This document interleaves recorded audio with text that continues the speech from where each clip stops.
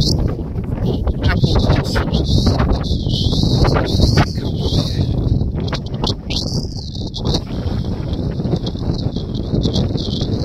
I know everyone says it. The phone never gives it justice, the view.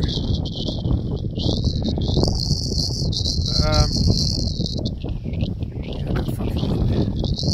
yeah, Applecross. Hang on. Fucking hell. Yeah. Get back down here, it's too fucking cold.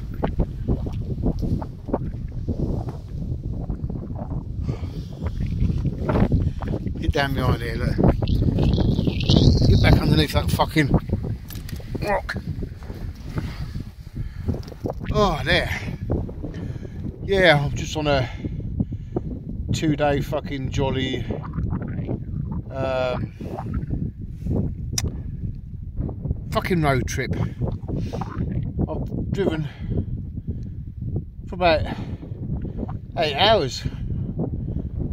It's been fucking brawl. The weather's been fucking I tell you.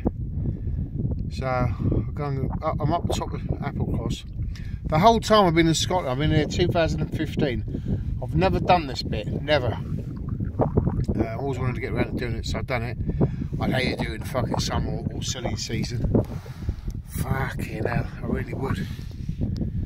Um, there's plenty of passing places. There's plenty of passing places, but then there's some that's quite away from. Oh, I'd hate to do it. I'd, I'd get fucking stressed to fuck. It'd be a fucking. It'd be a fucking nightmare. Absolute nightmare in silly season. Because up right up up the top, just over there, there's a like a flat we park. But nah, I'd um, I would not want to come here in the summer or, silly season. No way.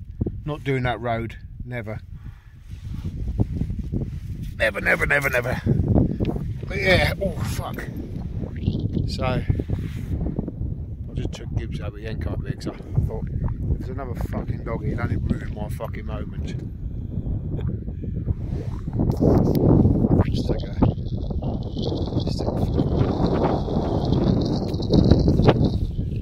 just trying to take a picture of my fucking yeah, it keeps going away. Yeah, so Applecross. Well worth it.